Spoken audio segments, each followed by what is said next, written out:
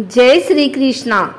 आइए सुनते हैं आज गुरुवार के दिन, भगवान विष्णु की यह कथा। बृहस्पति व गुरुवार के दिन, भगवान विष्णु की पूजा की जाती है। भगवान विष्णु की पूजा करने से धन, विद्या, मान सम्मान, प्रतिष्ठा और कई अन्य मनोवांछित फल की प्राप्ति होती है। धार्मिक ग्रंथों के अनुसार गुरुवार को भगवान विष्णु की पूजा का विधान है। गुरुवार के दिन व्रत और कथा सुनने से घर परिवार में सुख समृद्धि बनी रहती है। हिंदू धर्म में हर दिन किसी न किसी भगवान की पूजा की जाती है। इसमें गुरुवार का व्रत बड़ा ही फलदायी माना जाता है। बृहस्पति के दिन जगत पालक श्री हरि विष्णु की पूजा का विधान है। कई लोग बृहस्पति देव और केले के पेड़ की भी पूजा करते हैं। बृहस्पति देव को बुद्धि का कारक माना जाता है। केले के पेड़ को हिंदू धर्मानुसार बेहद पवित्र माना जाता है। कथा के अनुसार प्राचीन काल की बात है। किसी राज्य में एक बड़ा प्रतापी और दानी राजा राज्य करता था। वह हर गुरुवार को व्रत रखकर दिन दुखियों की मदद करके पुण्य प्राप्त करता था। परंतु ये बात उसकी रानी को अच्छी नहीं लगती थी। वह न तो व्रत करती थी और न ही दान पुण्य में विश्वास रखती थी।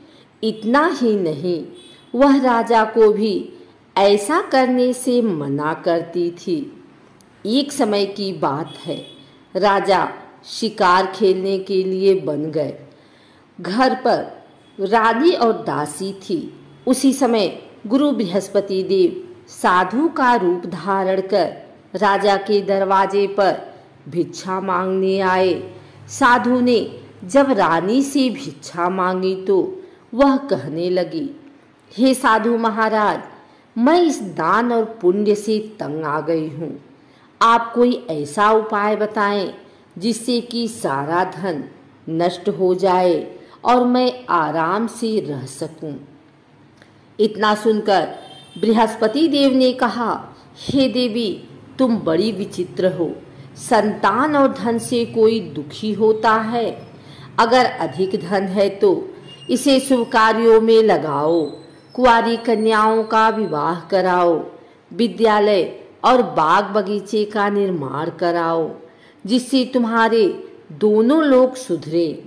परंतु साधु की इन बातों से रानी को खुशी नहीं हुई।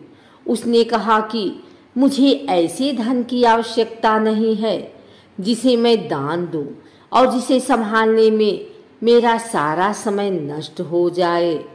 तब साधु ने कहा, अगर तुम्हारी ऐसी इच्छा है तो मैं जैसा तुम्हें बताता हूँ। तुम वैसा ही करना। गुरुवार के दिन तुम घर को गोबर से लीपना, अपने बालों को पीली मिट्टी से धोना, राजा से हजामत बनाने को कहना, भोजन में मांस मदिरा का प्रयोग करना। कपड़े धोबी के यहाँ धुलने देना। इस प्रकार सात बृहस्पतिवार करने से तुम्हारा समस्त धन नष्ट हो जाएगा। इतना कहकर साधु के रूप में बृहस्पति देव अंतर ध्यान हो गए। साधु के अनुसार कई बातों को पूरा करते हुए रानी को केवल तीन बृहस्पतिवार ही बीते थे कि उसकी समस्त धन संपत्ति नष्ट हो गई। भोजन के लिए राजा का परिवार तरसने लगा। तब एक दिन राजा ने, रानी से बोला कि, हे रानी, तुम यहीं रहो। मैं दूसरे देश को जाता हूँ, क्योंकि यहाँ पर सभी लोग मुझे जानते हैं। इसलिए मैं कोई छोटा कार्य नहीं कर सकता।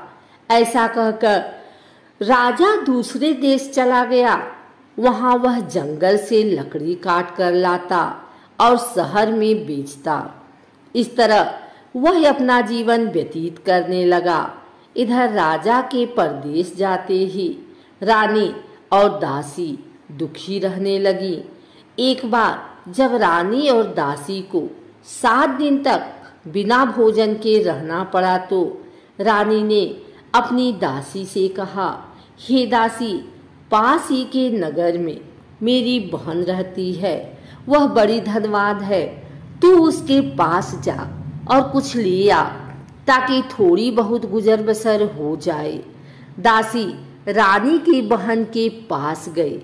उस दिन गुरुवार था और रानी की बहन उस समय बृहस्पतिवार व्रत की कथा सुन रही थी। दासी ने रानी की बहन को अपनी रानी का संदेश दिया। लेकिन रानी की बड़ी बहन ने कोई उत्तर नहीं दिया।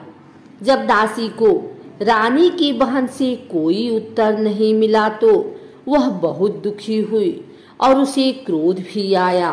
दासी ने वापस आकर रानी को सारी बात बता दी। ये सुनकर रानी ने अपने भाग्य को कोसा।